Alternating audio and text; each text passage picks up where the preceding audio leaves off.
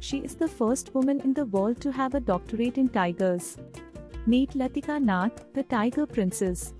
A passionate conservationist and ecologist. Latika is working tirelessly to protect tigers and their habitats. After graduating from Delhi University, Latika went to the School of Forestry, University of Wales. She later received her doctorate degree from the University of Oxford. In jungles alone for work to examining tiger habitats for days. Nothing stopped Latika from her determination to work. So far, she has worked on various conservation projects such as the Tarai Wetland Conservation.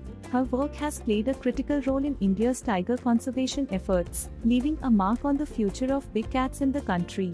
For more inspiring stories, follow the Better India on Instagram, Facebook, YouTube, and more.